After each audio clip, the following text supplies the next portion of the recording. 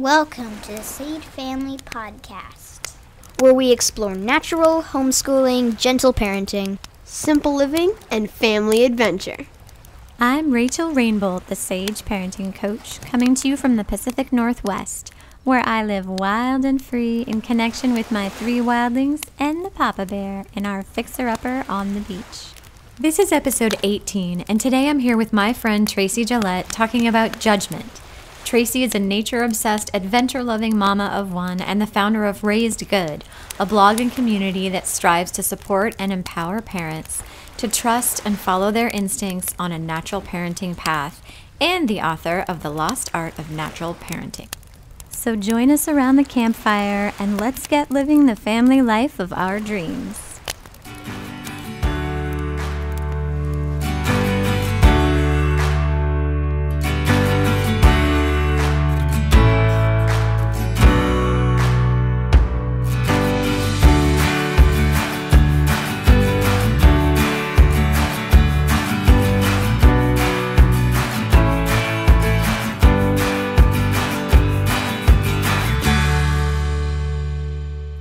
Out to our new patron, Carolina Kvas. As Sky likes to say, thanks for being awesome. If you are loving the Sage Family podcast, you can become a part of it too through Patreon, where you can support these important conversations, help make this show great, and get rewards doing it. So many of you have picked up your copy of the Sage Homeschooling book, and I get messages and emails from mamas all over the world telling me how it has just changed their whole lives for the better. Receiving those messages is tremendously rewarding, and I also want to ask you a favor. Could you all post those kind words as a review on Amazon? The Sage Homeschooling book has 31 five star reviews so far, and every single one makes a real difference in helping other parents who might be feeling overwhelmed or lost to find this resource. Sometimes choosing the adventure of the week is just painful. we visited a pioneer farm with our friends that was such hands on fun. The kids had a blast doing pioneer housework, farming, blacksmithing, and Bay took to the tyranny of the pioneer school teacher role with satirical vengeance. We had an adventure with a big group of our friends in which we built small wooden boats and rowed around Lake Union in an umiak, which is a handmade wood framed canoe from the indigenous people of the Pacific Northwest. But I'm actually going to talk about Sky's birthday trip today. My firstborn turned 13. We drove a few scenic hours, stopping whenever inspiration struck, like swimming at Lake Easton, to the adorable little Bavarian mountain town of Leavenworth. We met up with friends at the KOA and swam together in the river at sunset. After we crashed their campsite, they crashed our hotel pool for hours more splashy fun until closing. The next day, we swam in gorgeous Lake Wenatchee and then went on a horseback riding trail through the woods. Sky added horseback riding to her experience list during our seasonal collaboration session with the bucket system, so it was perfect for her birthday adventure. The experience for us all was wonderful. I actually used to have a horse. I rode every other day, I took lessons, I went to horseback riding camp, I won grand champion. Unfortunately, I'm also severely allergic to horses, so sharing this with my kids was extra special and a little bittersweet. On the way home, we climbed all over the boulders of Eagle Falls and made it back as a family of a teenager. If you want to see photos and videos of these adventures, then head on over to Sage Parenting on Instagram and follow along. Today, my friend Tracy is joining me to share a conversation on something that I'm willing to bet all of you have struggled with at one time or another judgment. I first discovered Tracy when her beautiful memes began floating down my social media feed. so I began following her online, and then I was interviewed on the Attachment Parenting podcast, where you had done an interview, and the host, Megan McHugh, said that I absolutely must reach out and connect with you. So I sent you over a DM on Instagram just to say I loved your work and you said, I love your work too. And then I got to read your book, The Lost Art of Natural Parenting, which is amazing.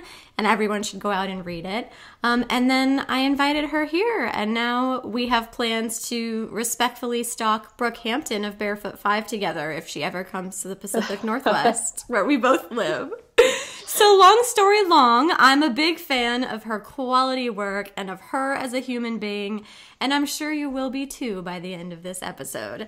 Now, tell us your story, Tracy. Who are you? What are you passionate about? What about your relationships and life fulfill you? And what is your relationship with this topic of judgment? Uh, thank you, Rachel. Thank you for such a kind introduction. um, that was lovely, and it's so nice for us to connect as well. Um, so, who am I? I'm Tracy, and I'm originally from Australia, but I now live up the road from you Woo-hoo! in Vancouver, BC. Um, we moved to Canada about seven years ago now, so got Canadian citizenship and slowly collect, collecting passports as we travel around the world. um, I'm married to a Kiwi, and um, we've lived in the UK together. We've travelled around Europe and had lots of fun doing that. Um, in a previous life, I was a veterinarian, um, so I worked in practice um, for about 10 years, um, mostly with cats and dogs, and absolutely loved that. But um, have switched course, and we're now living in Canada, and we welcomed our son into the world five years ago. So we've got one little guy, and he's just amazing, just the light of my life. And mm. when he was born, well, before he was born, I, I we had some struggles with fertility, and so I learned a lot about natural fertility. And then when I got pregnant, I started to learn about natural parenting, and I just loved everything that I was learning, and I wanted to share it with the world. So um, I became passionate about. Um, yeah, about all things natural and evolutionary and the biological way that we're, you know, sort of designed to parent. And I started my blog um, probably about four years ago, I think, was probably the first version of it. And I discovered that I had a passion for writing, which was pretty unexpected for me because I'd always been down the science path. um, so, yeah, so that's a new passion. And then um, what I'm passionate about in my in my life is traveling and adventuring and seeing new places, um, photography, getting outside, and merging that with my relationships with my son and, and my husband. And my relationship with this topic, I think all of us face judgment throughout our lives, but especially at the moment, being a parent, when so many of our decisions and choices are fairly public, um, yeah, it becomes something that we either need to defend or to be able to just um, stand stand proudly for. And I don't know why, but I've always been someone who was quite happy to do that. So I found myself in a position where I try to be an example and try to stand up for other women and other parents too who maybe may not feel as strong to do that and yeah, create community. Fist pump. Yeah. yeah. So I think that's I think that's me that was a fantastic intro. Um, I love everything about your story. And even, you know, it's funny because for a lot of us, we may have started out in one field or in one on one career path and then after having children we really pivoted and isn't it wonderful how certain pieces or things from those experiences and that knowledge pool carry over onto this path that we're on now. Because throughout your book, I know that there's a lot of, I mean, when you talk about the research and when you talk about the science and when you talk about your experience with animals, like it really adds to the perspective that you bring now. Yeah, yeah, big time, big time. And I, you know, whenever I tell people that they say, "Oh, what do you do?" And I say, "Oh, well, now I'm in marketing. I, I have a I have a an, an, office job and I and I do marketing. But I used to be a vet, and I, oh, it's such a shame that you gave that up, all that education, all that you know, oh that what, what a shame." And um, Ooh, and I say, what a shame. a shame. that is a shame, but it's it's more of a shame to continue to spend your life doing something that you're not happy with. Right. but um, yeah, but it's it's not a shame because it leads you to where you are. You know, I met my husband at university, and um, you know, I made some great friends there, and it um, t- and it taught me how to um, translate science to lay people. You know, when I when I was in consults with people and explaining to them what was wrong with their animals, and and I've found that to be very useful now when I look at you know peer reviewed journal articles that you know that the standard most people you know don't don't have time to read or or, or can't necessarily understand right. everything that's in there and just translating that to something that's actually you know that that that can just be understood um, easily. So yeah, I find that that really helpful. But um, yeah, my first my first love and my first passion and and and always will be are animals and wanting to stand up for animals and wanting to stand up for those who can't speak for themselves and um, you know I became vegetarian when I was 13 much to the disgust of my grandfather who was a farmer and owned three butcher shops oh my gosh. Um, but um, you know, and and then it, suddenly I realized when I became a mother, well, now there's another minority that I wasn't aware of, babies yeah. and children, and they can't speak for themselves. They can't say what they need and what they want, and and so many of us adults assume that we know what they need and what they want, or or probably more accurately what we need them to want. Um, so yeah, so then it, it just translated to wanting to stand up for these little people that just we're so lucky to share our lives with. Oh, I can relate to that so powerfully. And I feel like just you and I could just chat about yeah. life for like a solid two hours first before we even I'm really sure. get into judgment. I'm sure. but I want us to start off by getting to know judgment a little better because she is not your enemy and you cannot kick her out of the party. So I want to invite you to see her in a new light and change your relationship with her. I talk about the natural and important role of judgment in the Sage Parenting book, and you shared the same sentiments in your Lost Art of Natural Parenting book. So, how does judgment serve us? Right. So yeah, absolutely. We we can't run away from judgment. It's it's there. I, I when I wrote my book, and um, in a blog post that I wrote about the topic, um, I found a survey that found that 87% of mums judge each other. It's it's just the way it is. And um, the truth is that, so we all judge, um, and we're wired for moral judgment. It's normal and it's a natural thing to do. And part of our brain, the ventromedial prefrontal cortex, it's dedicated to that emotional aspect of moral judgment. So it's unavoidable for us as humans to not do it. Um, it's a survival mechanism, it can help us make sense of the world around us.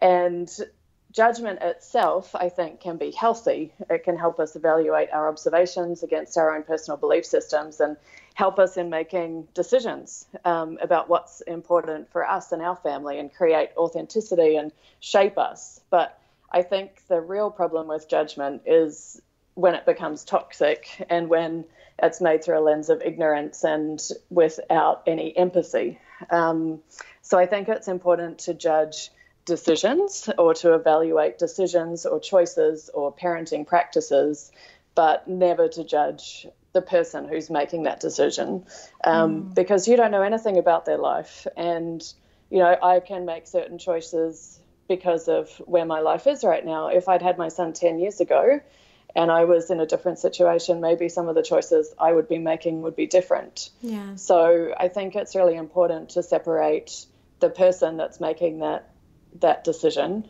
um, from the practice itself. Um, you know, something like cried out or sleep training is, you know, is, is a classic. Um, not judging the parent who does it because they're desperate and because the doctor has told them that it's safe. Yeah, and because they but, don't know there's another way. Yeah, but judging, you know, and, and showing empathy to that mum who is just so sleep deprived and thinks that she's doing the right thing and thinks that she needs to teach her baby how to sleep because that's what she's been told and that's the information that she's got. So the antidote to that is making sure that the best knowledge is available, that the real information is available, that there is support for that mother. Um, you know that that she can get a village around her, that she can understand that there are other choices. So yeah, I think it's it's not so much judgment that's a problem, but I think it's that our society is just really lacking empathy, and mm. we're lacking lacking connection and and yeah i think that's probably for me that's the real issue yeah that's an important distinction A judgment is a considered opinion or sensible conclusion. So we are judging the world around us and the people in it all the time in that through that lens in that context. Judgment helps us sort out where and how we belong. It highlights our feelings, perspectives, and values. For example, if I see someone throw their garbage on the ground, judgment stands up and says, Hey, that doesn't feel right. We're going to make a different choice for ourselves. Is there anything more we can do? And judgment works the other way too. Before I had children, a college classmate gave a presentation with photos of her full term breastfeeding in public all around the world, and judgment whispered so loudly in my ear, Hey, hey, there is so much here that I'm loving. Lean into this and learn more about it. So, I mean, that's judgment too, just in that positive direction. So, if you've yeah. ever made a choice about something, you have judged. You're a judger. I was deciding between two bags of mixed seeds the other day, and I judged the heck out of those seeds and invited the one I judged to be superior to come back to my place. So let's just dial down the outrage at the word judgment because it is natural and it does serve us. So the question becomes then just how do we have a healthy relationship with it? Which I know you mentioned, like differentiating between judging the choice and judging the person. What might okay. it look like when we're struggling in our relationships with judgment? When and how is judgment a problem? Okay, so I think it really starts to become a problem when we start to change our behavior. Um, mm. So, hmm. um, if we start to avoid other people or feel nervous about making our choices public um, or lying about what we're doing. So, bed sharing is a famous example, at least in my world, yes. um, for being something that um, at least half of parents lie about doing for yes. fear of judgment.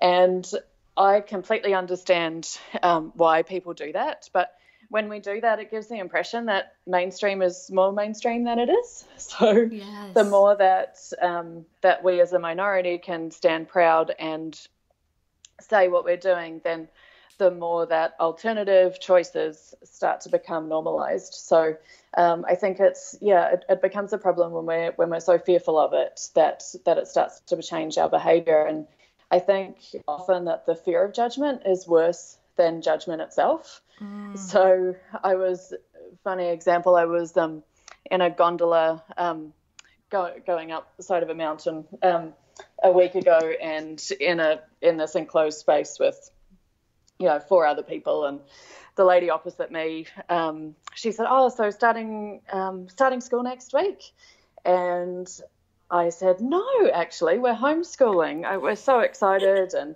um, we've got a little community school over on Bowen Island that we're going to go to for two hours a week for an art class, and that teacher will support us with homeschooling, and just so amazing." And and she said, "Oh yeah, you know, look look at you know what we've got around us. It's so beautiful. There's so much to do and see." And and I said, "Yeah, absolutely." And then she said, "Well, but I've got to go back to school next week." And I said, "Oh, are you a teacher?"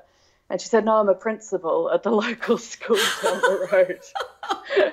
and I just laughed and I said, "Well, if you told me that at the start of the conversation, I wonder if I would have been so bold."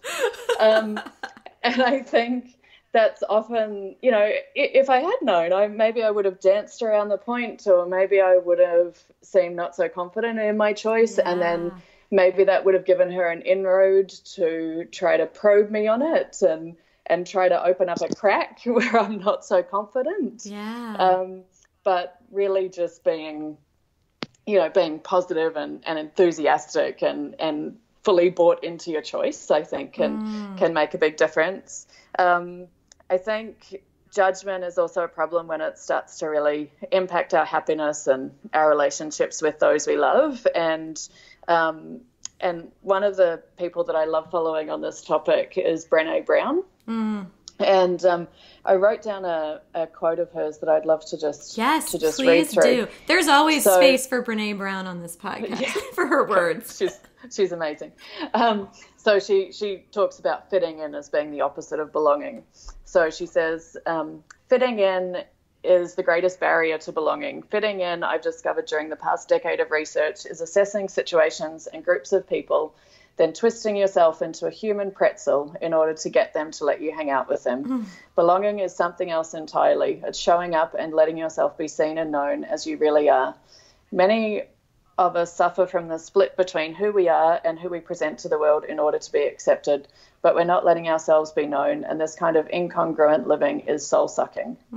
So I just love that. I think it, it is soul sucking. You're either Yes. you're cheat, cheating yourself when when you're um, letting judgment get the better of you and um, I think it's really important to realize that we're the change makers you know particularly in you know as far as um, you know different choices like homeschooling or or you know long full-term breastfeeding or um, co-sleeping or things like that. And there are people that have gone before us to already make the path easier for us. And we need to honor that and honor the sacrifices that that they made and realize that we're doing the exact same thing you know for for our kids so that they can parent our grandchildren. Um, and in ways that that are authentic to them and be able to make choices so Yes. I think it's just important to realize it's hard. Like it's hard and it sucks and there's no getting around it, but that doesn't mean that we run away. Yes, yes. Carrying around everyone else's expectations in your baggage is like where judgment really can take you down. Things like good babies sleep through the night, you're homeschooling, what about socialization? It's like this spiral Yeah. of negative self talk and getting knocked off balance by comments and an inability to hold boundaries for your family. You can kind of spiral down. So, judgment becomes a problem when we cannot tolerate sitting with it. We have to be able to have that conversation when we feel the trigger or when we get hooked. I feel you, I hear you, then speak to it. Let me look into that. If you need to do some research to get to a place where you feel good about standing in your truth, or actually, I've done my homework on this one and I'm fully in line with my values and I'm great right here, or wow, I am out of step with my path right now on this issue. Let me course correct. It's like a compass check. So, when you feel judgment, like when you feel yourself get hooked by not even judgment necessarily, but fear of judgment or anxiety about potential judgment, like you said, can you sit with it and have a conversation within yourself in order to speak to it? And then discomfort is an invitation for growth. So lean in when you feel it. Whenever judgment has stood up in my life, it has always led to growth. Either I have confronted a previously held belief with my eyes wide open and allowed myself to be moved by new information or experience. Like when we know better, we do better, right? Embrace that cognitive dissonance.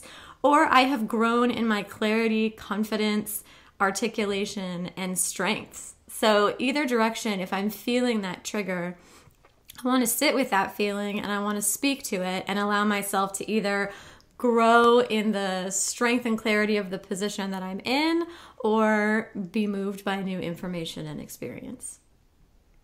Yeah, absolutely, hundred percent. And I, one of the one of the things that you mentioned um, about discomfort, there was a an amazing TED talk. I I, I watched it a few months ago. Um, I think it's relatively new by Susan David, and the um, the the topic was that discomfort is the price of admission to a meaningful life. And I think that's so true. We just run away from discomfort um, in all aspects of our life. Um, you know, we, we get a headache, we grab for a for an ibuprofen. We, um, you know, we, we feel judgment. We want to run away from it. We have a baby that's keeping us up through the night. The baby needs to sleep. No, you need to be just Yes. what's the worst that can happen just sit with it and just be with it and this it's it's worthwhile it's monumentally worthwhile to go through that because you're making your family sacred in doing that and yeah it's it's hard but it's um it's so worth it Yeah, or like even I'm feeling discomfort in my relationship with my child. So I need more t- alone time and more date nights and more time away. As opposed to Yeah. leaning into that discomfort and sitting with that feeling and working through it and finding a path through it. Um, yeah Emotional absolutely. agility, yeah, which is, I believe, by the same author who did that TED talk, is a book that is Yes. fantastic. So if you want to um, learn more about that whole sitting with your feelings thing, that is a book I definitely recommend. She's fantastic. Yeah, her TED Talk is awesome. and I've heard her on some podcasts, and yeah, yeah, she's, she's fantastic. fantastic. Yeah, I mean, it's just, you know, we try to teach our kids, you know, that um, we try to teach our kids emotional regulation and, mm-hmm. um, you know, that not to run away from from feelings like anger or sadness or disappointment exactly. or jealousy you know and and so we're just kind of teaching ourselves as well you know mm-hmm. I, I i had down that um you know judgment where we talk about it relating to adults we call it judgment but when we when kids are talking about it it's probably peer pressure and we we wouldn't want our kids to succumb to peer pressure. So right. Um, yeah, we would. So I think we've got to parent ourselves a bit because maybe we weren't given, maybe it wasn't modelled to us as well as it possibly could be. And that's nothing against our own parents. They did the best that they could at the time, but yeah yeah we, i keep finding that to change that i keep finding that so much of so much more of parenting is about parenting myself than parenting my oh, kids than i ever realized yeah. at the start of this journey yeah. i thought it was going to yeah. be about them but no but by far the vast majority of the work that i have had to do in order to become the best parent that i can be at this point in my life has been parenting myself mm. Yeah, big time. I often say, like, no amount of therapy compares to what it's my son has, has uncovered. yeah. Well, once yeah. you have shifted your relationship with judgment, you are free from fear of judgment to stand tall in your light. I'm talking about living openly and honestly as your authentic selves. This is the space where you can fully accept your children for exactly who they are, love yourself with grace, and walk your path with peace and dignity. Why do you think it's important to live with authenticity?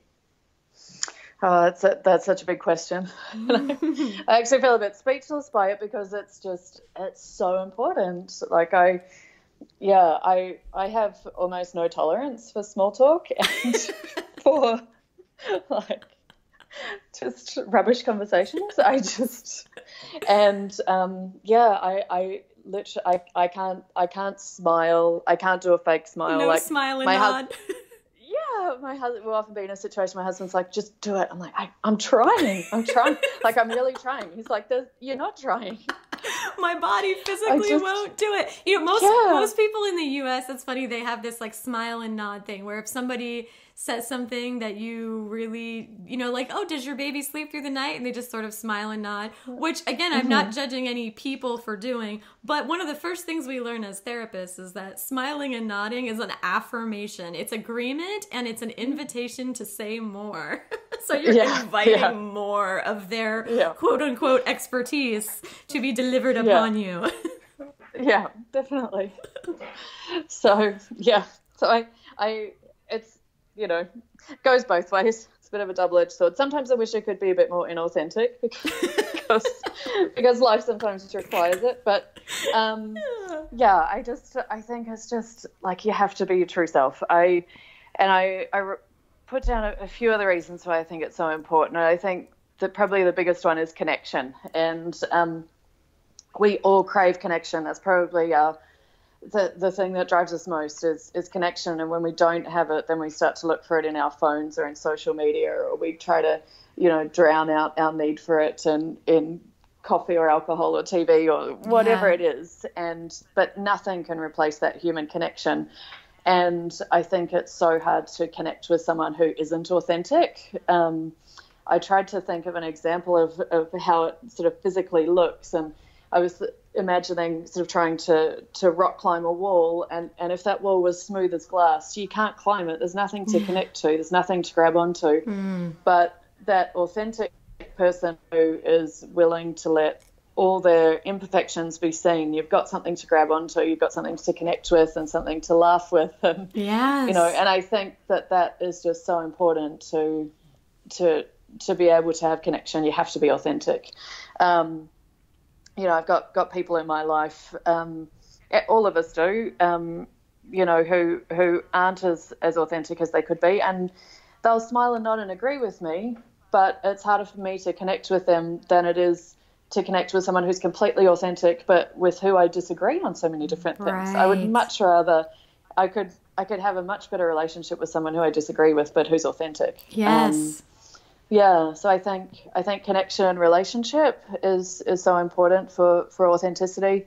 Um, I think also just our world needs it. We've we've got so many problems. we've got got um, you know issues that that really need people who are authentic and who are willing to ask the tough questions and ask the right questions.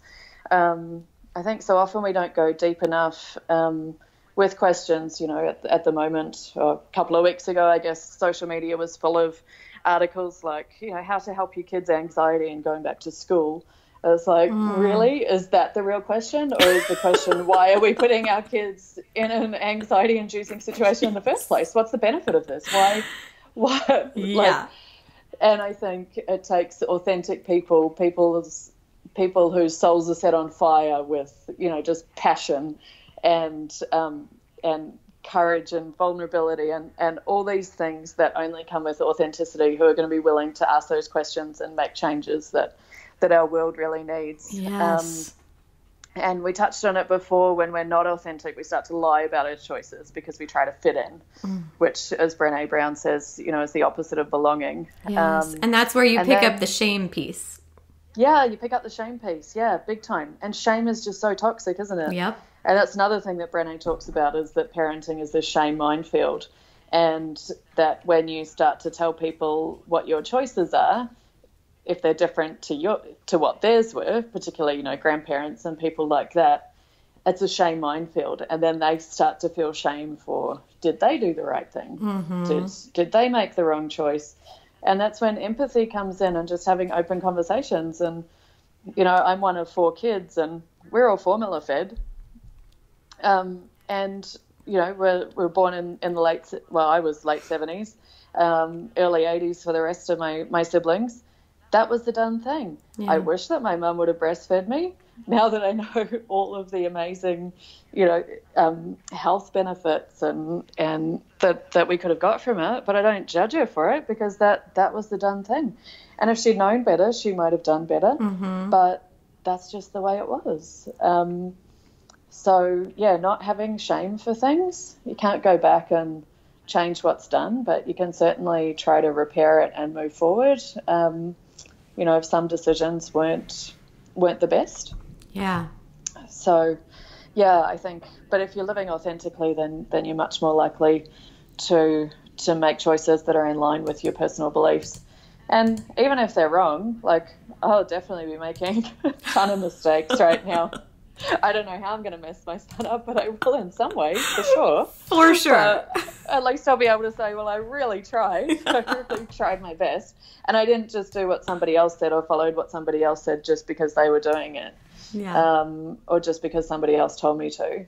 Um, and I think that's another important thing is that when people are judging us, I had one homeschooling mum say this to me, um, said that um, often people think that we've put in the same amount of thought and effort and investigation into our decisions as what they put into theirs, which is probably almost none because, you know, like if you're just following the norm, right. the choice hasn't been should they go to school, it's just which school should they go Yeah. to. Um, so if you're making the choice about whether or not they should go to school, you've put in a lot of research. You've read a you've read a handful of books. You've listened to podcasts. You've watched documentaries. You've Mm-hmm. Reached out to mentors. yeah, all those sorts of things. Whereas someone who's just sent their kid to school, I don't know how much thought. Not that much. Yeah. Not judging that, but at the same time, don't try to judge. Don't think that I've made my choice in in ignorance, Right. Um, because I certainly haven't. So, yeah. Yeah, I think living with authenticity is actually the thing I do that I believe makes the biggest and most profound impact on the world. I just live my truth out loud for the world to see, and I think of it like planting seeds. Gandhi said to be the change you want to see in the world, and when you focus your energy on doing that openly, you're planting seeds everywhere you go. And that reminds me of what you said about you know all these people coming before us like blazing these trails and and um, clearing a way for us and then it's sort of being our responsibility to do the same for the people who come behind who come after us um, that's what i kind of visualize as that's like my why really for living with auth- with authenticity living openly.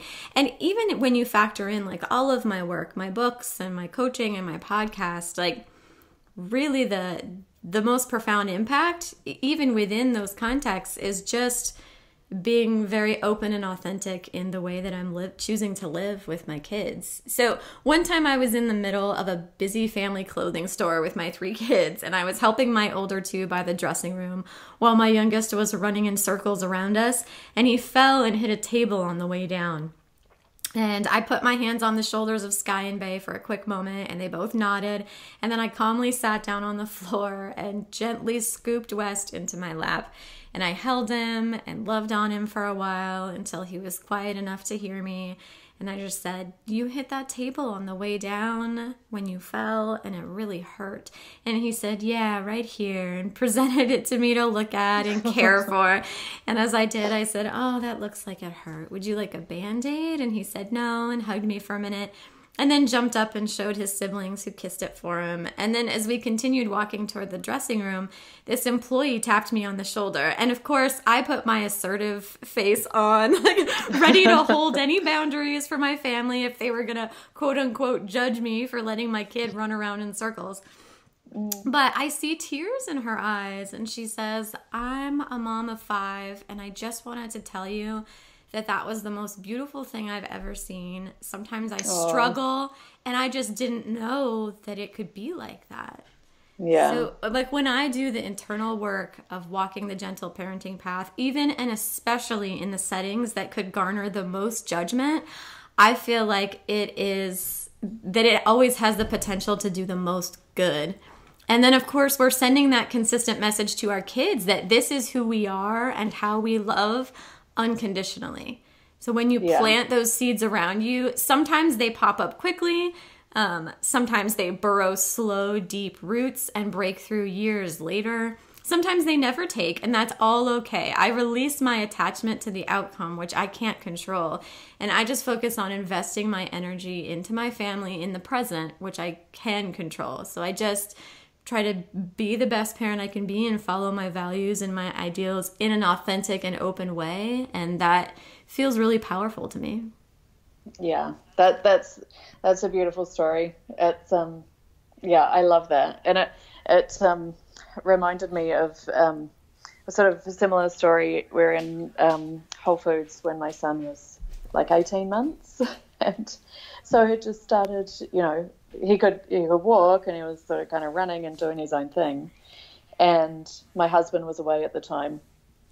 And I just I was in there and I just needed to get like five things.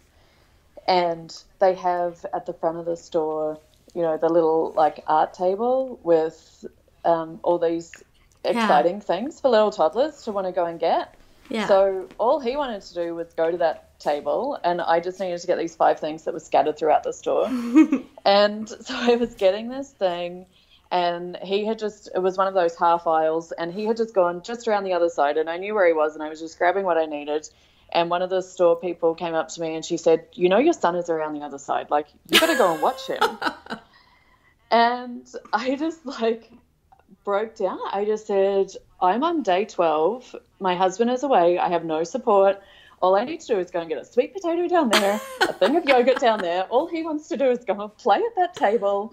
I just, um, I, I need help. And she, and she just, and then she was just like, put a hand on my shoulder and she was like, I will help you. I will watch Aww. your son and follow you around the store and help you get these things. And she just helped me. And that just, you just assume that people are going to have judgment and and that you should just respond and say oh i'm terribly sorry and i should right. really just make sure that and but sometimes if you just let them see your authentic self and let them see that you're vulnerable and you're just trying your best and you know what's going on then then sometimes they help and they see you and and then they connect with you and yeah i think i think that's where authenticity can really shine Oh, that's beautiful. I love that. Yeah. yeah. Like when we've been moving, well, okay, so throughout this conversation, we've been moving outward, and now I want to talk about the external response. So let's get specific here. How sh- should we respond to judgment from others? Mm, that's, yeah, it's a tough one. I think um, Right. So where should we start? I know that you're sarcastic, because like I am. So you have to give us the one answer that's perfect in all scenarios and with all people, right. please. Yeah. Yeah. Okay. The magic bullet. yes. um, okay. So I've got a, I've got a few ideas here. um, so depends on who the person is. Depends if you're ever going to see them again, I guess. Um, mm-hmm. um, if they're a perfect stranger, then firstly, just don't worry about it. Um, you know, don't worry about where it goes. I, I'm, I've joined this new homeschooling group, and there was a question that went around in the um, um, in this email group last night, um, actually about judgment from one of the mums who had been been judged for her choices, and unfortunately it was at a dinner party, and I think sort of eight people mm. sort of attacked her simultaneously.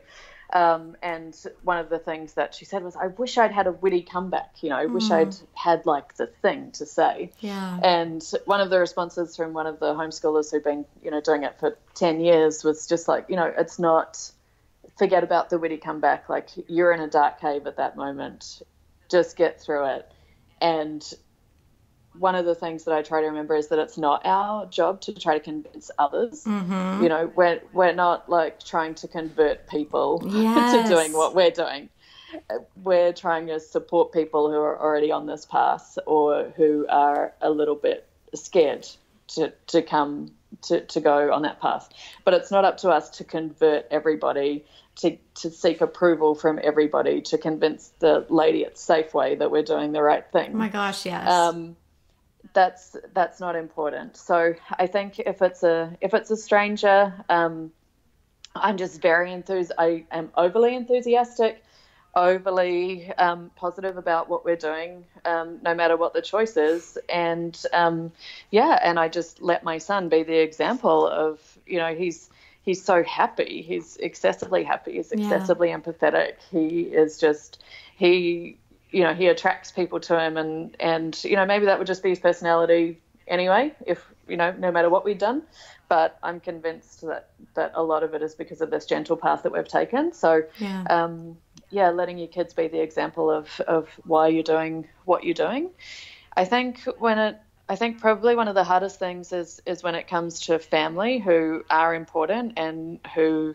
are going to be in your in your kid's life for a long time. Obviously, um, you know, like grandparents, and I certainly found it easier with some things like even breastfeeding and um, co-sleeping and things like that that was sort of somewhat private, I guess. You know, we certainly talk about them, but they happen in our own homes. But you know, as soon as you start doing something like homeschooling, it becomes pretty obvious when you didn't just forget to not send them to school on September 1st or February 1st, no matter wherever you are.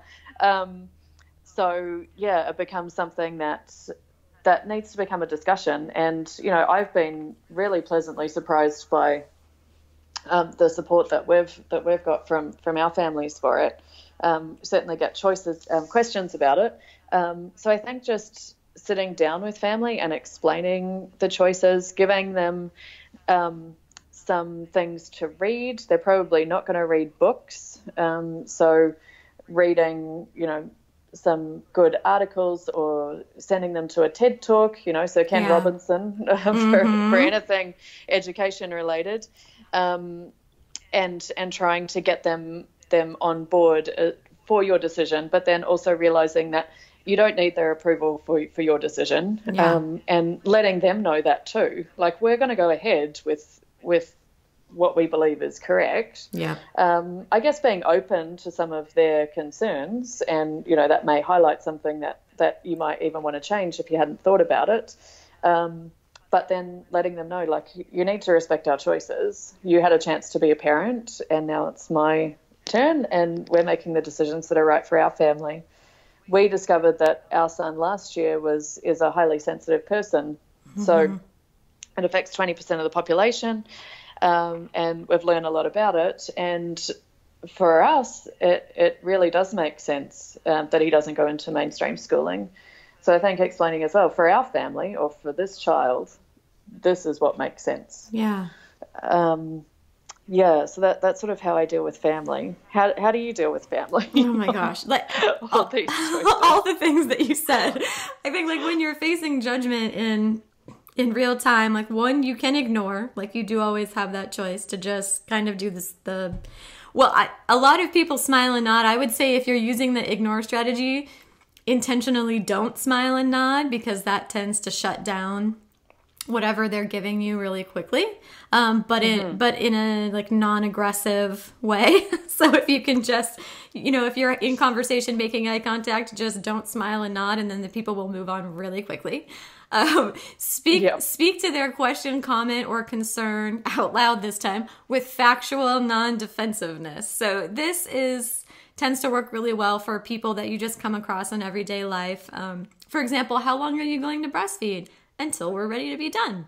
So, like, think like, how can you answer this question in one sentence? And it can be helpful to have some responses prepared ahead of time for frequently offered judgment. So, if you find that you're hearing the same thing over and over and over, um, like getting the same question, just think about how to answer it every time the same way in one sentence. And then to sit down at another time and have a conversation to establish a boundary. This is the one that answers your question of what do you say to like family members? Because yeah. this is best for permanent people in your life. So, not in the heat of the moment when you're fighting about your choice to school or not school your kid, um, but at another time to actually sit down with them and have a conversation and say, we really value your wisdom and your experience, so we have carefully considered it and we've gotten to know this individual child really well. And we've done our own research um, to see what new information is out there. And this is what we have decided to do. So you don't have to agree with it, but you do have to respect it. And then be specific about what that looks like and what it doesn't look like. So, just what you said earlier, basically.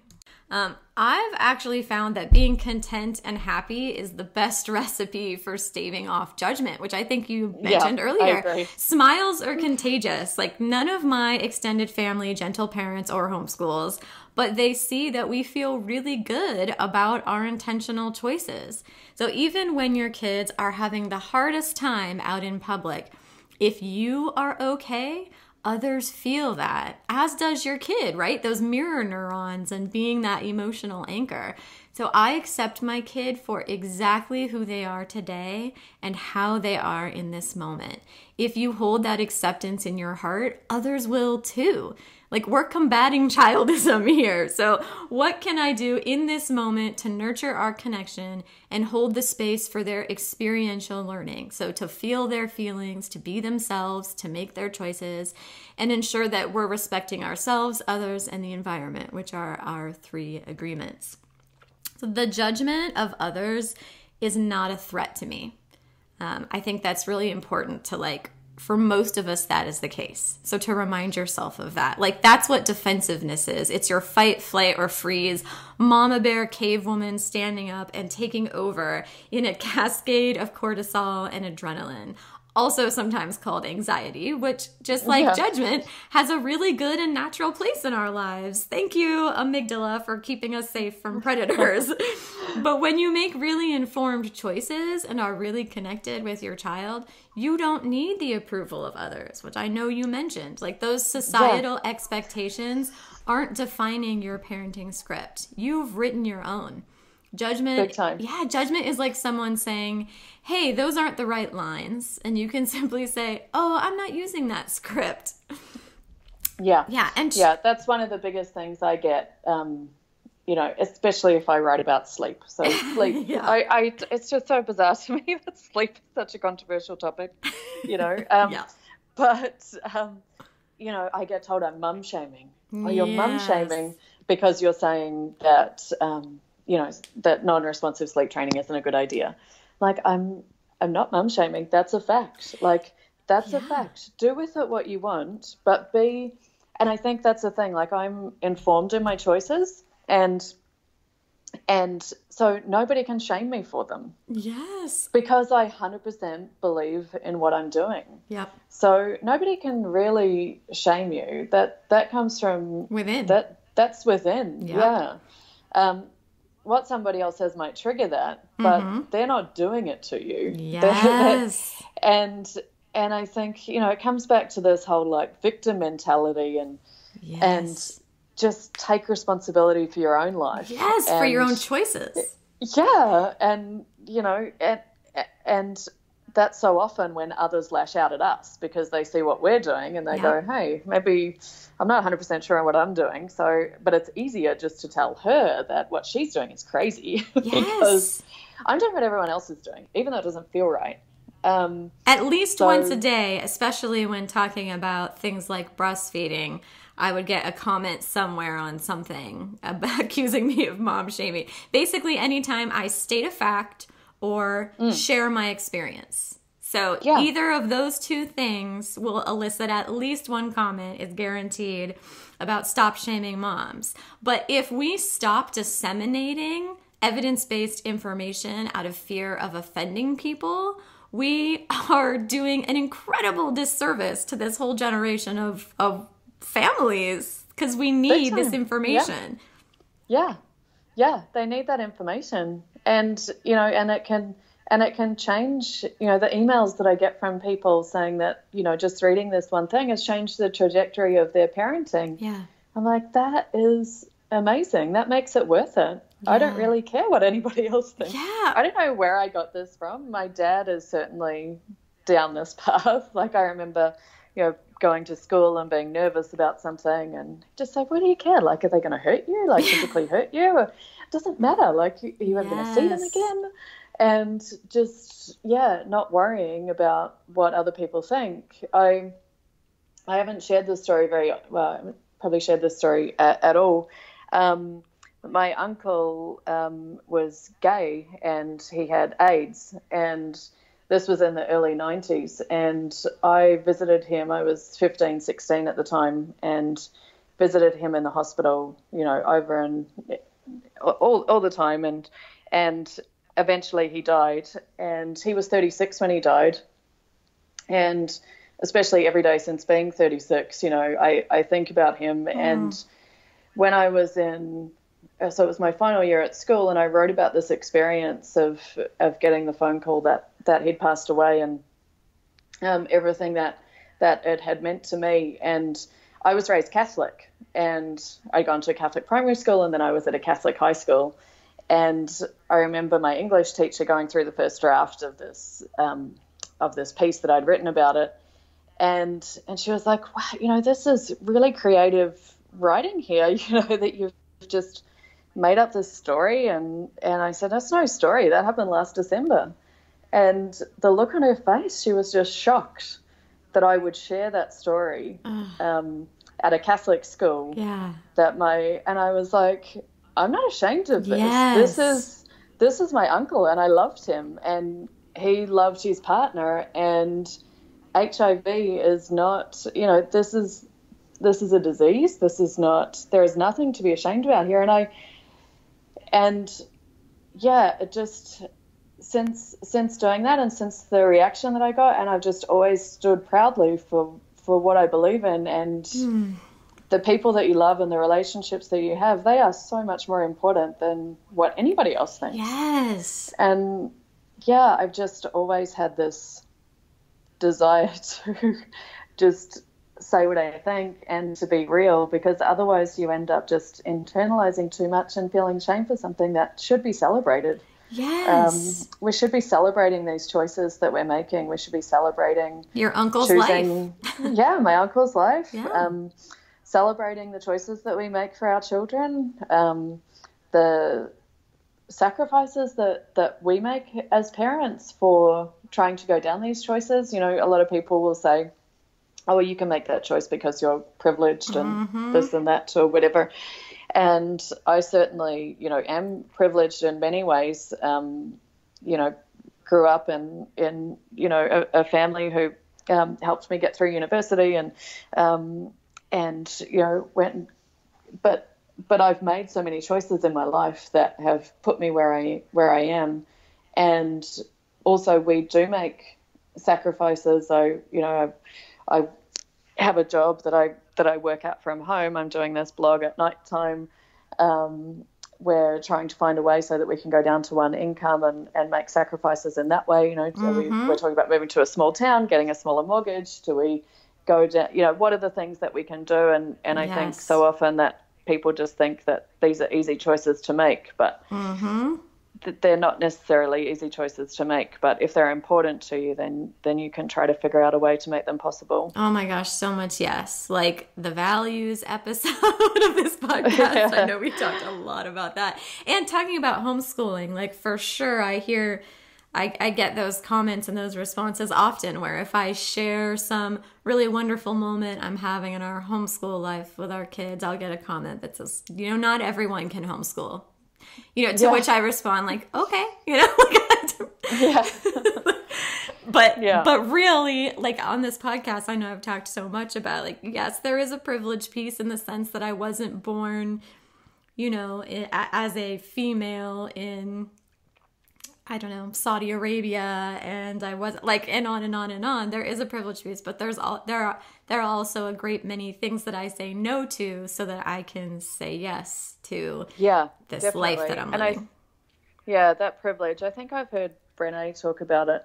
Um, sometimes I find that silence in me, thinking, well, I shouldn't really talk about this because maybe I am luckier than some other people, or maybe I have created a situation um, where I can do these things. But then I think, no, but if if we don't stand up and say these things, then and try to change things for others so that they can have have a path to be able to to make different choices, then then who will? Yes. Um, so I think it's important to yeah to live your whole truth. Yeah, and try to move through these interactions with empathy. People vent negative judgment at our different choices when they experience that cognitive dissonance and feel threatened. So you might be saying, We choose to homeschool, but they are triggered and might be hearing, There may have been a better way to educate my child. And they can't tolerate that possibility, so they have to squash it. now, that's yeah. just one example, but my point is that it's not about you, it's about them hurt people hurt people. And when I remember that, I can stay in that space of empathy. And you talk about that empathy piece too, right? Mm, yeah, yeah, definitely. Yeah. Yeah, trying to find some kind of common ground if you can. Mm-hmm. Um, yeah, and then talking through it. Yeah. So if we have shifted our relationship with judgment and are living authentically and responding calmly and confidently, the last bit to cover is resilience. How can we increase our resiliency living in a society in which we are so often running counter to the established values? I, I think we've we've covered some of it. You know, talking about um, what Susan David says about discomfort being the price of admission to a meaningful life. So just re- first, firstly realizing that um, that if it is feeling difficult, that's not because you're doing anything wrong. Right. that's because it's it's normal to to feel that dealing with judgment on, on a semi regular basis is normal.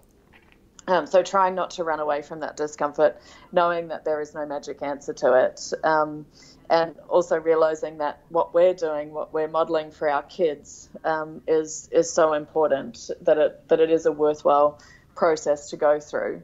And sometimes I think, you know, we're always going to be judged. That that saying, you know, you can't please everyone, so mm-hmm. you might as mm-hmm. well please yourself. And um, thinking, well, I'm either going to be judged by this person um, who may be a permanent figure in my life or who may be a, a stranger or a friend, or I might be judged late now or later or in 20 years by my child for a choice that I made. Yeah. And the person who I am most responsible to is my child. Mm-hmm. So I will always make decisions that are in his best interests that I can explain to him why I made those choices. So I would I would rather disappoint a stranger or yeah. disappoint my own parents than disappoint my son. So it's just making the choice of whose judgment is more important to you. Mm, so much, yes. Um, and then I think licking your wounds and running back to your tribe people who understand where you're coming from. Um, I found that really hard, like you, in in day to day life. I don't have anybody who really parents the same way that I do. Um, my sister is on the other side of the world, and and she makes similar choices to to what I'm making now.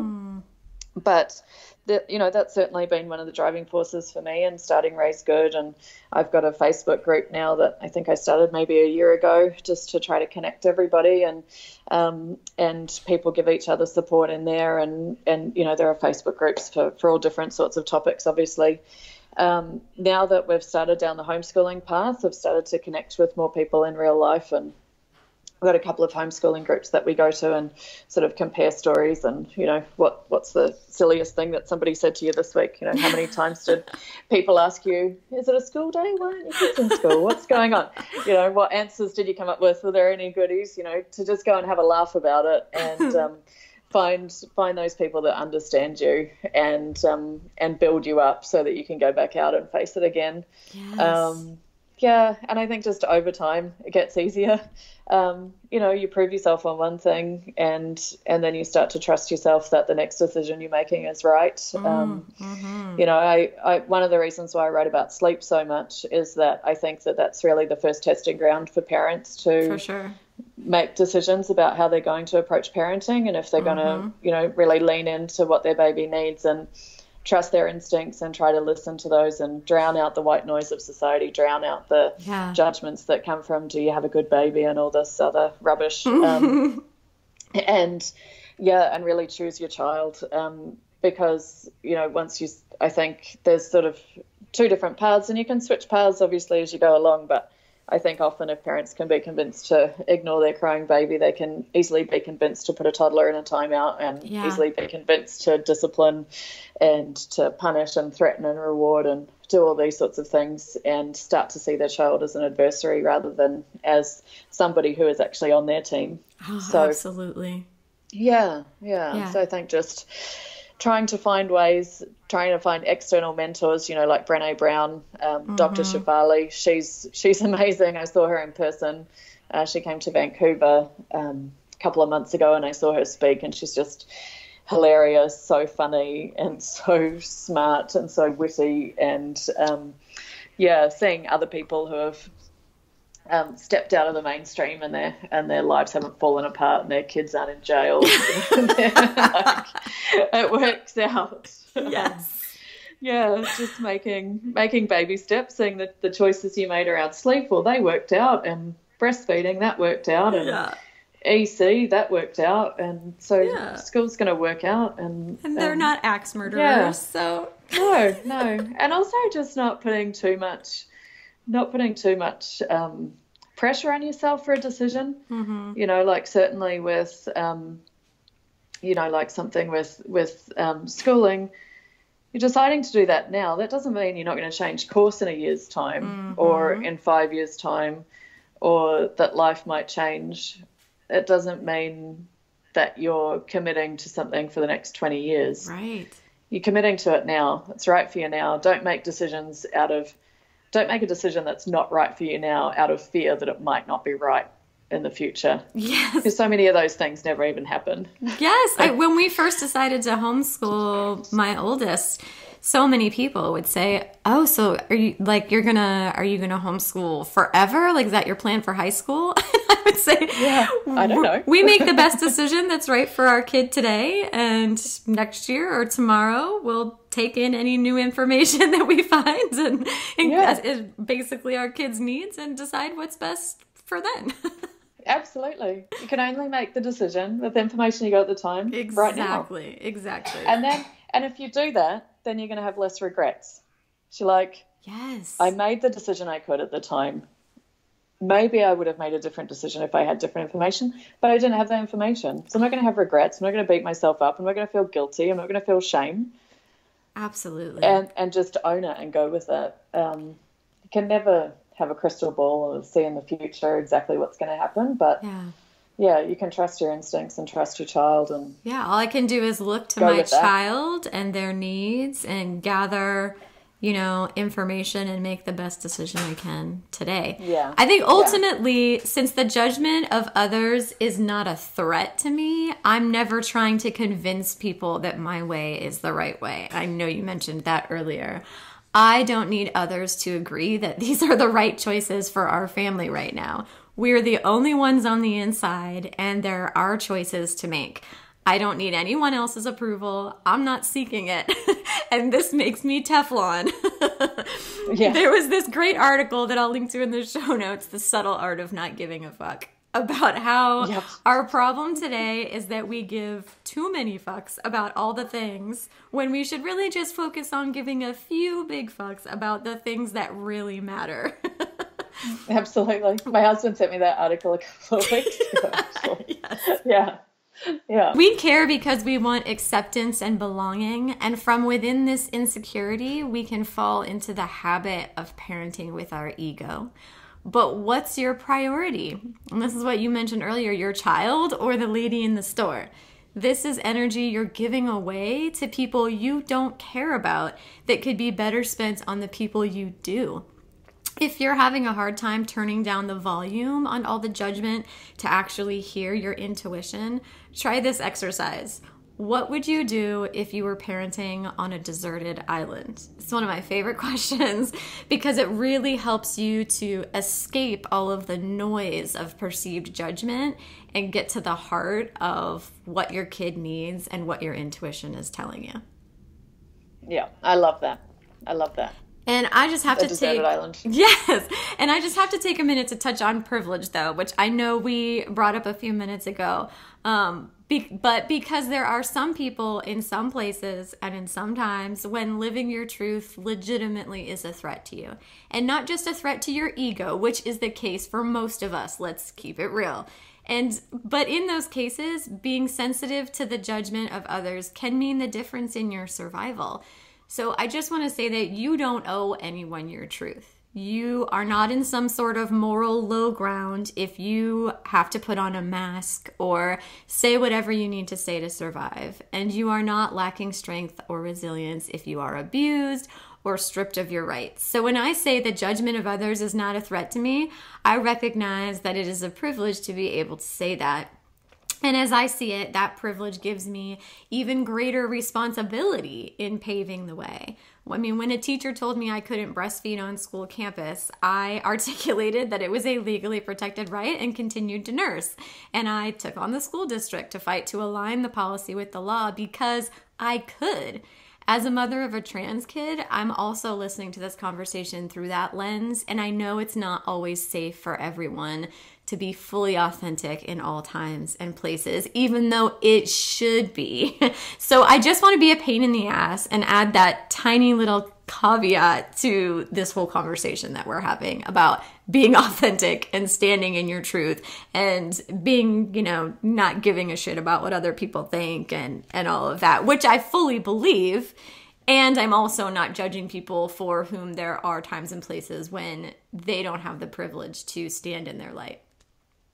Definitely, definitely. I think it's it, that's such an important point to make. I um, when when we discovered that our son was highly sensitive, uh, I saw a counselor a couple of times just to, to get an understanding of, of how to how to deal with that, what we needed to do, and and since then I've realized I think I'm highly sensitive too. but me but too. We were talking, yeah, we were talking about who to about you know telling family and friends and some of the reactions that we'd been getting. And none of them were bad reactions. Like how could you react badly to that? But some from some people we just felt like we weren't getting the support that we that we were seeking. And she said well you don't need to you you have to choose who you trust your heart with. Mm. and you don't have to be vulnerable with everybody. You don't have to tell everybody the full truth. So when I say that, you know, 50% of people lie about bed sharing, um, sometimes I might be one of them. Yeah. Most of the time, I'm telling the truth.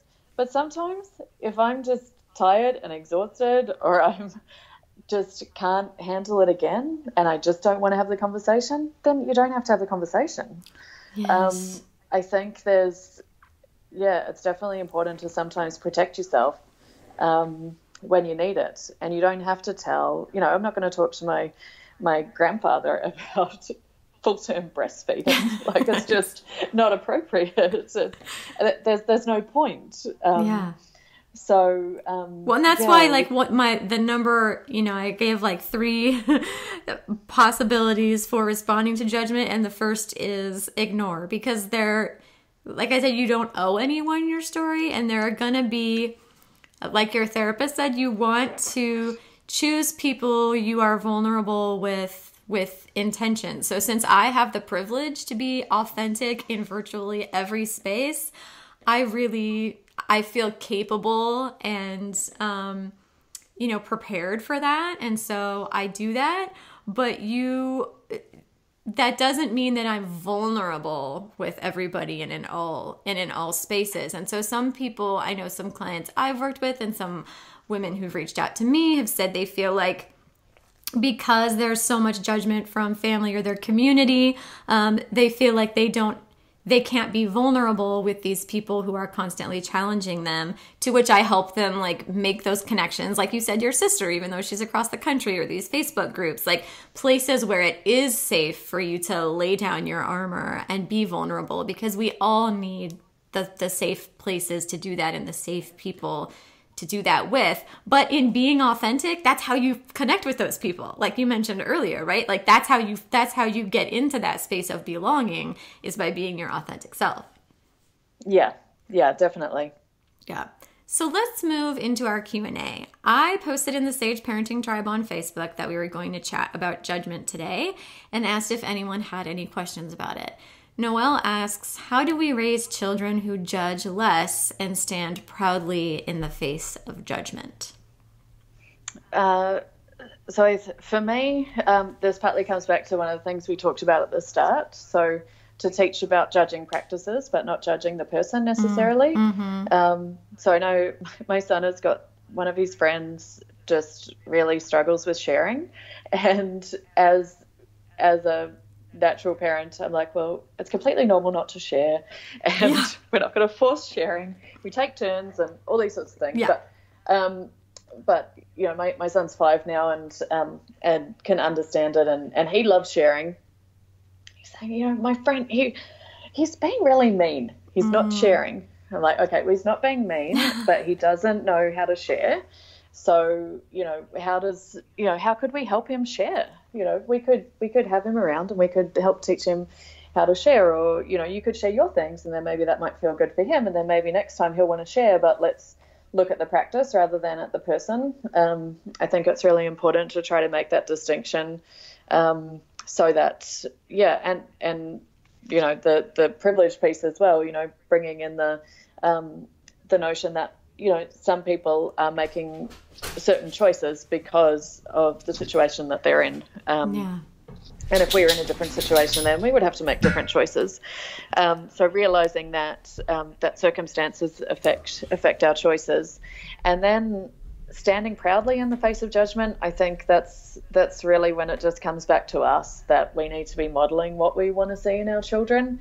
So sta- us standing in the face of judgment and um, showing showing how that's done and you know talking to them about it and talking about that um, that the decisions that that we make for ourselves might be different to other people and you know even running through how we make decisions and how we make judgments about certain things and really giving them the ability to make their decisions as young as possible yeah. um, so and you know having having faith in them that they will make the the right choices and yeah trusting them um, not always hovering over them and and letting them letting them take a few risks and uh, yeah so I think just modeling it and and really making the distinction that there are uh, there are there are practices and then and then there's the person behind it that we don't judge.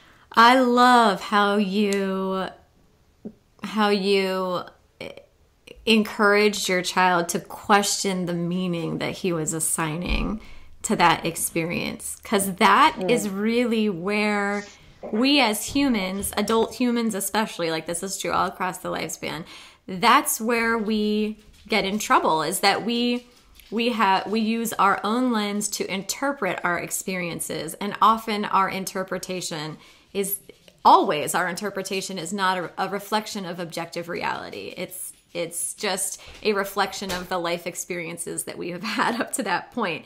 And so that's a really, you know, I just posted this meme about I'm wondering is one of my favorite ways to start a conversation with kids. And this is one of the, you know, 5 million ways that that question comes in handy for me is when I hear my kids assigning meaning to an experience and I want to encourage them to question it.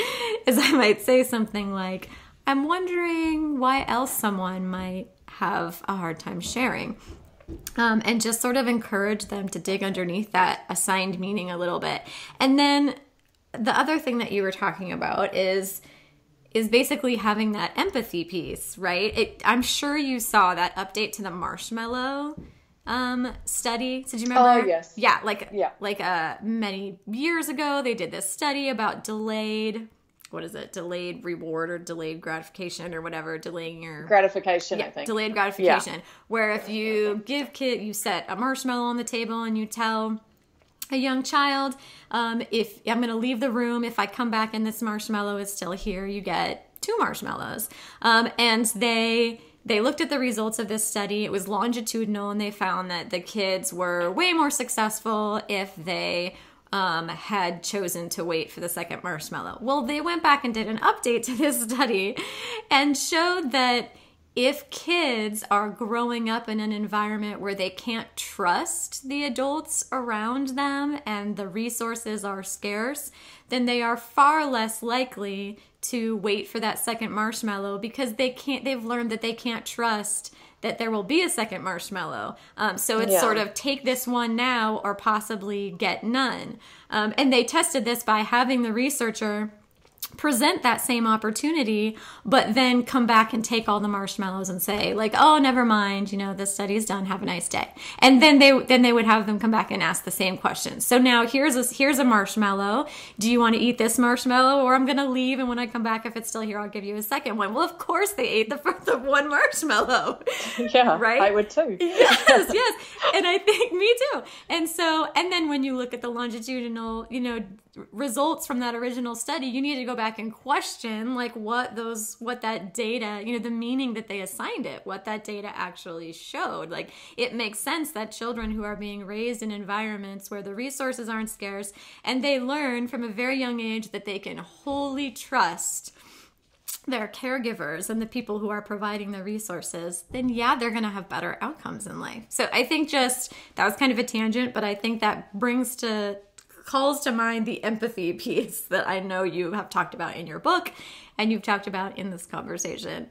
Um, but my response to her, to her question, like role modeling. Any longtime listeners out there should be yelling out role modeling. If you are judging yourself from a place of self love and grace and growth, that is the template you construct within your child's mind.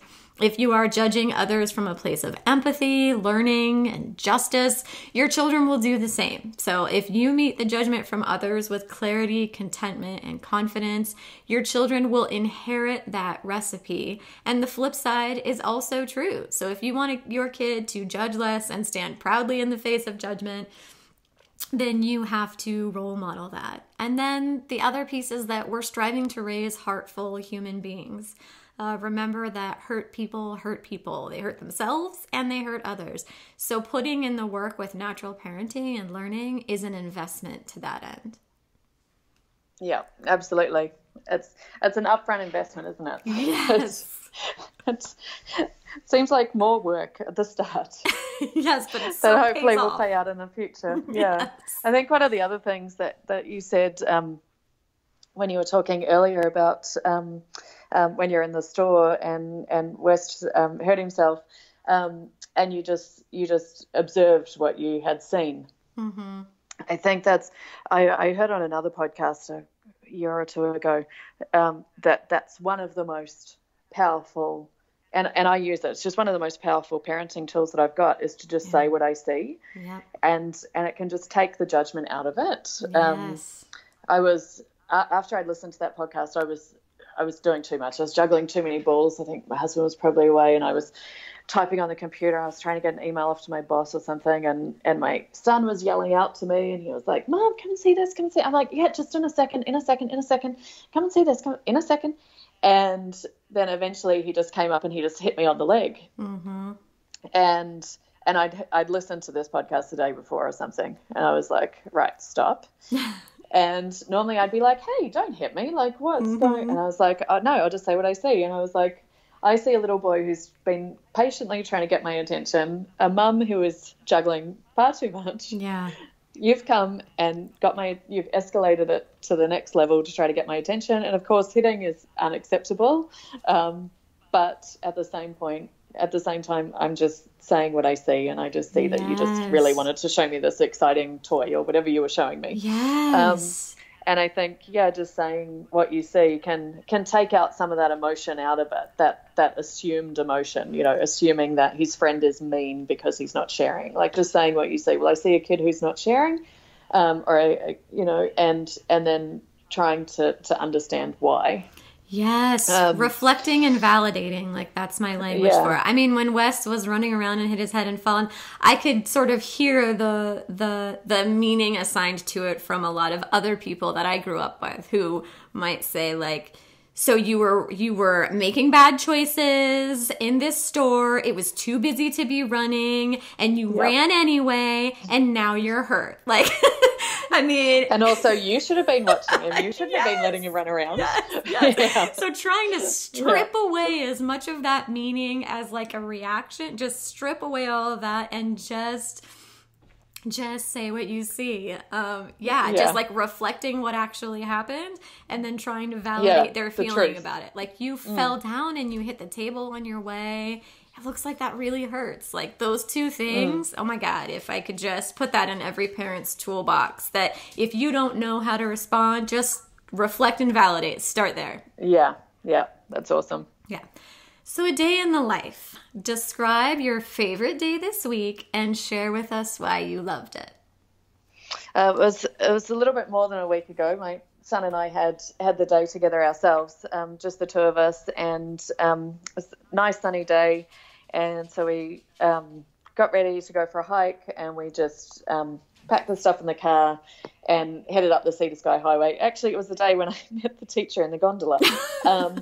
So, but um, so it's about a forty-minute drive away, and um, my son just loves listening to the Beatles. So Mm, good listened to the. Beatles the whole way up. Yeah, he loves Hey Jude and um, Twist and Shout, and um, so we was bopping away in the car. Um, all the way and I'd packed we'd been reading he loves dinosaurs just so passionate about dinosaurs and so we packed a couple of his dinosaur books in, in the bag and um, went up the gondola up into this just beautiful location just near Squamish um, up the road from us and we're up in the mountains and went for a little hike. They've built a new um, kids trail, so there's all little rock climbing bits and um, you know pretend eagles hiding in the in the forest and all sorts of things. So he just loves this kids trail, and then we get through that and then we get out on this other trail that I really love going on, and you almost get to the end of the trail, and then there's a sign that says the next part of the trail is more difficult.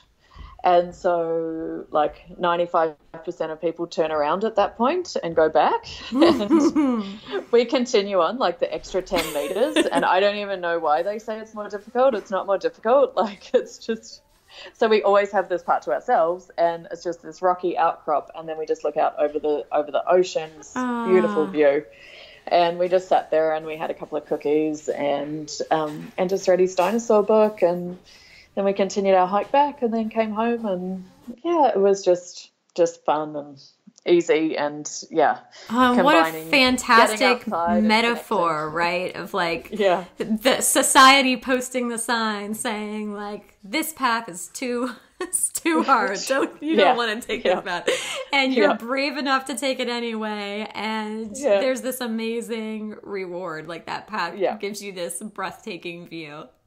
Big time Oh, big man, time I love it's like it's just there just, you could even peek through and see the end of the trail but yeah yeah Oh, so wow, yeah love that. definitely great metaphor well, let's take our deep dive. The show notes can be found for this episode at sageparenting.com backslash podcast 18, where you can also subscribe and get future show notes sent right to your inbox. I realized as I was preparing for this episode that I, after in 17 episodes, I had never given you all the URL to actually get the show notes. So, you know, podcast learning curve.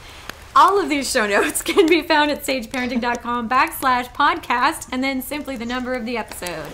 Um, so, what are your favorite resources for people to dive deeper into this topic? Uh, well, some a number of the ones that we've already talked about. So, um, you know, looking up um, Brené Brown's fa- uh, famous TED Talk mm-hmm. on vulnerability, um, understanding that yeah, the difference between being yeah brave and courageous and and vulnerable and surrender and all those sorts of um, scary emotions that um, mm-hmm. help us deal with judgment better. Uh, definitely the Susan David TED Talk, and and you mentioned her book, the Emotional Agility um, piece. I have um, I have one blog post on my on my site that's about judgment. I can send you the link to that, and yes, I talk please. a bit more about that in my book. And um, who else? Who else can we add to this? well, I will link to that article, "The Subtle Art of Not Giving a Fuck." Um, nice. And to your book, of course, and to that article that you recommended. Yeah, I'll send you the link to my Facebook group as well. Um, Fantastic. I did which not. Is a whole bunch of people being honest. I did not even know that you had a Facebook group, so um, ex- yeah, I'm excited yeah. about that. Yeah, it's it's awesome. It's such a such a great group. Um, there, it's a closed group. You have to answer the questions, so just answer the three questions. They're super easy, and then um, a couple of the mums help me on the admin group, and then they'll uh, let you in straight away. Nice. All right. Well, I think we have covered every side and angle of the issue of judgment that I can possibly think of. I have been working with families for, oh my God, so many years. Um, and I know that this is an issue that so many people struggle with. So hopefully, we have helped some people out there who um, could benefit from just shifting their relationship with judgment a little bit. That's my hope. And you have been so lovely to talk to. I know oh, thank you. scheduling this has been a bit tricky, and I was not going to give up because I love all of your work and I love all the things you say, and I think you're a lovely human being, and I am so happy that we get to share this conversation that quite frankly I feel like would have been fine if I just had it with you. I would have felt awesome, but I love that we get to record it and share it with other people so they get to listen in. Me too. Me too. Awesome. Thank you. Thank you so much for having me on.